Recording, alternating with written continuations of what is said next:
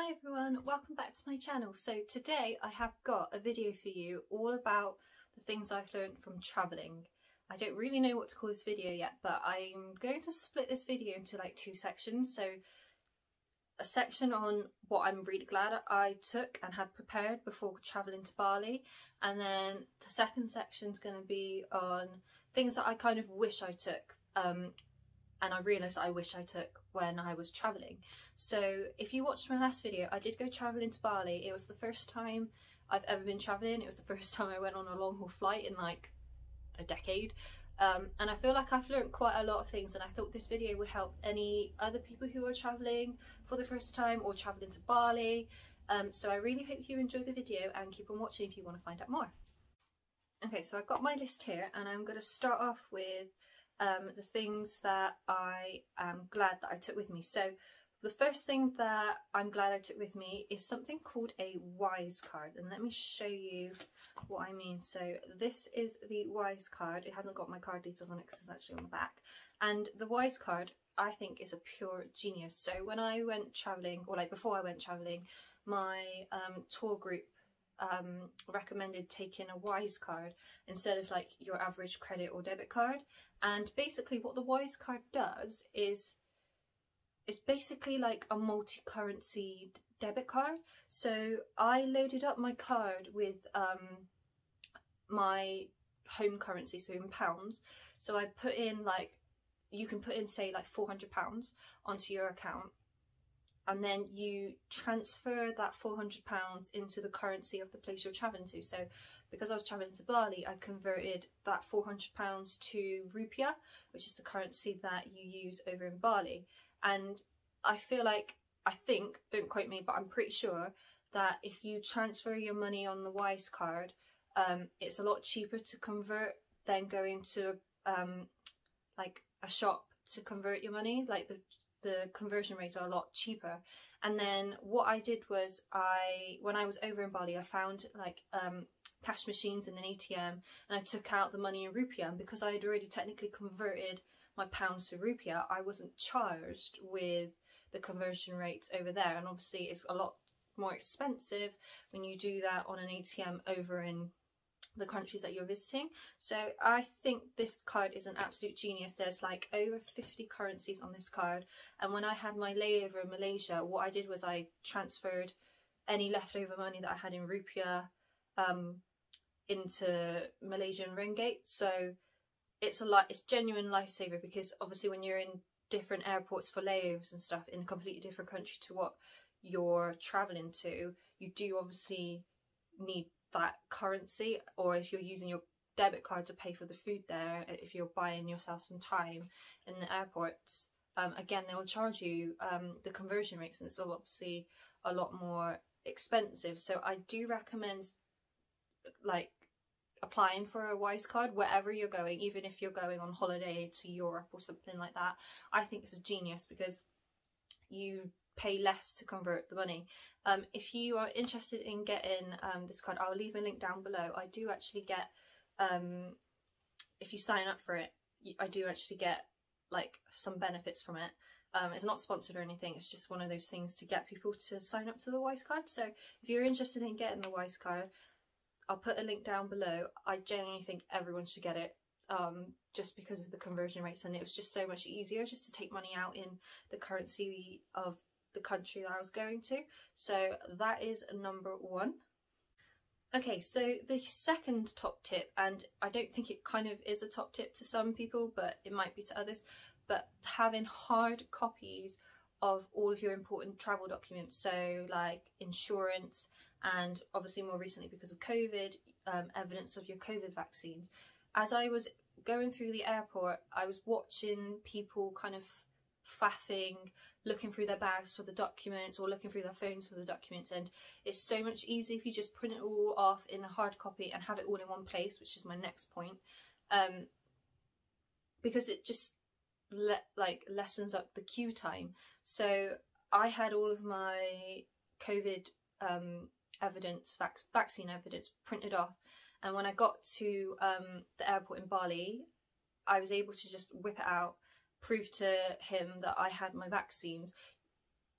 I did obviously have to download the um, Indonesian version of the NHS app, but my proof of evidence, my evidence took ages to like be approved on the app. So I thought it was a better idea just to have the hard copy printed off and it was so much easier when I got to the airport. He just looked at it and said that it was okay and I was able to go through to the next station which was customs. So I highly recommend you printing off like hard copies of like all of your important travel documents because you've got it there, you don't have to faff on your phone or anything like that. So that's my next top tip. Okay, following on from that, you've got all your important documents, you know, you've got your passport and stuff. I also recommend having like a documents traveler thing. Don't know if that's actually what it's called, but basically this is a folder that holds all of your important um, documents that you need. I got this off of Etsy ages ago um, when I booked Bali, which was like in 2019, and I couldn't go obviously because of COVID. But this is personalised with my initials, and when you open it up, you've got section for your passport, um, a section for like other important bits, section for money, um, another section for money, which but I popped my boarding passes in there. There's a section for a pen. Um, highly recommend taking a pen when you're filling out you know the customs forms and then on the back there's more um, pocket space which is where I put my um, flight information, my insurance information and my COVID vaccine information. So it's all there um, together. Now you might hear some people say like don't put everything important all in one place because if you end up losing it or someone steals it you're kind of done for but I personally prefer having everything in one place so I know it's there so I so if I need my passport and I need my COVID vaccine stuff I just whip this out and I know it's in there and you just have to just take really extra care of um this. And because it's all in one place it's easier just to kind of grab and go. So that's my next top tip is having it doesn't even need to be something like this having like a plastic wallet um, just to hold all of your important bits in so you're not faffing in your bag in in the queues and stuff. It's all organized and all in one place. Okay, so tip number four. In order to stay organised, I had to buy some packing cubes and these are genuine lifesaver for your suitcase. Like, honestly, I don't think I would have survived travelling without them and some of the friends that I met um, on my tour when I went to travel to Bali wish that they had these um, travelling cubes because they just keep everything nice and tidy. Um, obviously I packed everything away but the ones that I bought, which are from Amazon, and I'll link down below, um, came with this like little bag, which again doubles up as a packing cube. Um, and inside you have a couple of packing cubes that look like this. And I basically just packed all my clothes um, into like organised sections. So I had like one for like underwear and swimwear and socks, um, one for like daytime clothes, one for nighttime clothes, that like that kind of thing. Depends on how you want to organise it. But it just keeps your suitcase so much tidier than just dumping everything in your suitcase. Um, I I I think they're a genius, and I can't believe I spent this long without without them. Um, so yeah, travelling cubes are a must for travelling now and whenever I travel anywhere I shall be taking these along just to keep my suitcase nice and organised and tidy. I feel like with these as well I managed to fit in more things into my suitcase because I rolled up my clothes and popped them into the little cubes and I was able to fit in more. Um, don't actually know if that's true but in my head it's true. Um, but yeah that's tip number four, get yourself some travelling cubes. Okay, so number five, when you are travelling, I highly recommend getting a backpack. Now, I'm a bit of a princess and I travelled with my big um, trip suitcase for like my main luggage, but for my hand luggage, I went for this little backpack here, which I got from Amazon, and I'll link down below. It comes in loads and loads of colours, and this is genuinely a lifesaver. It is a bit grubby now because obviously I took it with me, um, but this bag has so many different compartments that you can fit in loads and loads of things in. Um, in the main compartment, I actually put in a packing cube with some clothes, which will be my next point. Um, and then you've got like a section that's really, really handy to put in your travel documents because it's nice and safe. Um, and then there's like a little um, I don't really know what this is called, a little flap that um, sits on top of your main suitcase so it doesn't fall off. Obviously there's a handle which is nice and handy. The um, straps are padded so it makes everything more easier and comfortable to carry and I just love that it's got loads of different compartments. There's one at the bottom where you can put shoes but I didn't use that purely because the bag was so packed with lots of other things but um, this was a great carry-on bag because it was the perfect size to carry all the bits that I needed on the plane whilst my suitcase held everything else. So I highly I highly recommend getting a backpack because obviously it's easier to carry as well and you can got and you've got your hands free to you know wheel your suitcase and things like that. So that is tip number five.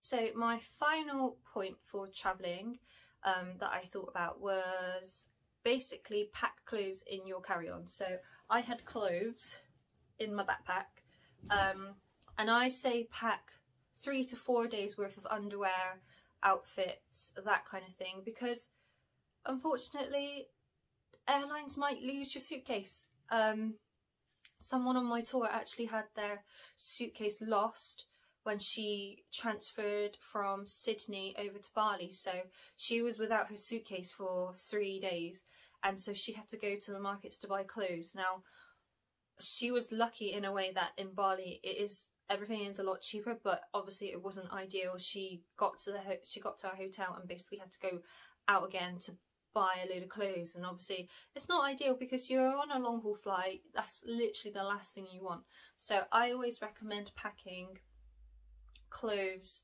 like three to four days worth of clothes um, and socks and underwear just to tide you over in case that ever happens. It does mean that your carry-on is slightly more heavy, but for me, I, on a carry-on, um, on the plane, I don't actually need much. Just need like my phone, my medication, a drink, like that kind of thing. So I think it's definitely worth it if you pack three to four days worth of clothes. And if you pack smartly, so maybe you pack two pairs of shorts that you can rotate over like that kind of thing instead of packing like three dresses um which take up like more more space you yeah i just i just think that it's really important to pack that, that kind of thing. And again put it in the traveling cube so then it's all nice and compact um and easy to kind of get out of your bag. So that is tip number six pack clothes in your carry-on. Move on to the next section of the video now and these are the things that I wish I took um, when I went travelling. So there are quite a few things that I wish I took actually and obviously the next time I go travelling I'm definitely going to be keeping these things in mind. So the first thing that I wish I took was a bottle that was a flask. So I actually took this bottle right here. It's currently got blackcurrant squash in. Um, and I'm a big advocate for taking your own bottle so you're, you know, using less plastic. But I do wish I took my flask bottle, this is my Chilly's bottle, because it keeps your drinks cold. Um, when I was obviously walking around the streets of Bali, it's obviously very hot. And then when I was taking a chug of water from this bottle here, it's not a flask kind of bottle. I was drinking warm water, which was not ideal because obviously the heat from the outside was making the water warm. Um, so I genuinely wish I took this because it will keep it would have kept my drinks nice and cold. You are actually allowed to carry bottles in your carry-on if they are empty. So I, I genuinely wish I took my flask bowl and as you're going through security or once you have gone through security you can ask um, someone very kindly in like Costa or something to fill up your bottle. In Heathrow Airport, they actually had stations to refill your bottles, and so did um, Kuala Lumpur Airport in Malaysia. So there are places that you can refill bottles if you carry your bottles in a carry-on. Just make sure that your bottles are empty as you're going through security. But yeah, I really wish I took this bottle with me because it would have kept my drinks cold and I didn't, I would, it would have meant I wouldn't have, and it would also mean that I didn't, try I don't know how to word it. Basically, I wish I took this bottle with me because it would have kept my drinks warm and it would have stopped me from having to buy drink water from the mini marts because it's just a waste of plastic and a waste of money. Next thing I wish I took with me or more of was insect repellent. Um, I am severely allergic to mosquito bites. Um, I kind of, like I knew in the back of my head I am. Um, so I did buy insect repellent. I bought, um, I've ran out of it now because I had to use so much of it, but the Jungle Formula from Boots, um, it just wasn't strong enough. I was spraying myself pretty much every couple of hours and the mosquitoes still sniffed me out because I've got, apparently I've got really tasty blood. Um, and because of my allergic reactions, it just wasn't a pretty sight at all. Um, so I do wish I took more insect repellent with me. Um, it ended up like my so my group ended up having to donate their insect repellent to me because I was just being bitten left, right, and centre, and my allergic reactions to them just wasn't pretty. Like I don't know if you can see, I I've got scars um, over my arm because of my allergies to the mosquito bites, but I wish I took more insect repellent with me and different kinds of insect repellent. Um, my friend on the tour recommended going to like a hiking or a camping store to get insect repellent because they're apparently better. They've got more ingredients in them that deter, deter, deter, is that the word? Um, the mosquitoes from biting you. I think at one point on the tour I was wearing three different insect repellents and when I did that nothing was going to bite me. I, in fact, I actually saw um, a mosquito kind of like fly towards my arm and then like flew away because I stank basically. Um, so yeah, I wish I took more insect repellent with me. Okay, so leading on from the insect repellent and being allergic to mosquito bites, I wish I took a first aid kit with me. Um, yeah, I should have listened to my mum she she had a first aid kit all laid out and I was like, oh, you know, I won't need a first aid kit. Like, I know I'm clumsy, but I should be fine. Um, so I took the pack of plasters or band-aids, um, if you're American, and I popped that in um, my suitcase. No, I wish I took like a full-on first aid kit because I went through those plasters like literally within one day when I had the um, mosquito bites because I had to cover up the blisters with the plasters because I didn't want them to pop and get infected. Um, yeah, I wish I took first aid kit and it would have helped other people on my tour as well who like fell over and stuff. Um, antiseptic wipes were very, very, very in demand in my group. So I wish I took a first aid, I wish I took a first aid kit. Okay, so the next item I wish I took more of was definitely hand sanitizer. Obviously, um, the sanitation over in Bali isn't as great as us in the UK. We you're not allowed to drink the water from the taps in Bali. So I feel like even after washing your hands, after going to the toilet in Bali, you need to sanitize your hands as well because like it's fine to brush your teeth with the water, but I think my stomach is so sensitive that I think that's how I got poorly, um, just from washing my hands. And then I have a habit of like biting my nails and stuff. Um, and obviously the water that you wash your hands with does have like viruses within within the water. So I wish I took more hand sanitizer because I went through the sanitizer like no tomorrow. And obviously you can buy sanitizer over there but I do wish I had like my own already prepared so I didn't have to worry about that um, when I was over in Bali. So it's just those little things like I do wish I took more hand sanitizer with me to sanitize my hands. The final thing that I wish I took with me or took more of with me is flowy clothes. So I purposely didn't take this top because it's quite tight and obviously it's hot over there so it would have made me all hot and bothered but I do wish I took more like flowy shorts um, and like nice bikini cover-ups. Um, I basically wore my Abercrombie shorts, they're in the wash now because um, I've literally just got back but I took my Abercrombie shorts with me because they were nice and flowy and loose they just made everything so much more comfortable, you know, getting in and out of before going to the beach um, and just walking around in. And I, I do wish I took more of those um, types of clothes. So the next time I go to like a hot destination, I'm definitely taking more flowy clothes with me. Another item of clothing that I wish I took more of is longer clothes. So like, I think I took one maxi dress with me and I think that helped stop the mosquitoes from basically eating me alive. Um, and I was really self-conscious of all of my mosquito bites because they were blistering um, and I only had the one maxi dress that covered covered up the blisters so I do wish I took more um, longer maxi clothes like I love like crop tops and shorts but I wish I had took that as an option just in case. So um, yeah, the final thing that I wish I took is more flowy items and like more maxi kind of dresses. Okay, so that brings us to the end of the video. I really hope that you found this video useful if you are going travelling, whether that is to Bali or to another um, country. Um, I really enjoyed making this video because I have learned so much from travelling and I cannot wait to go travelling again next year and I will obviously be keeping all of these points in mind for myself when I go travelling again. Um, let me know if you have any other tips that I've not included or let me know if you are going to use some of the tips that I've included. I would really, really appreciate it um, knowing that I've helped other people out and enjoy the rest of your day and I will see you soon. Bye!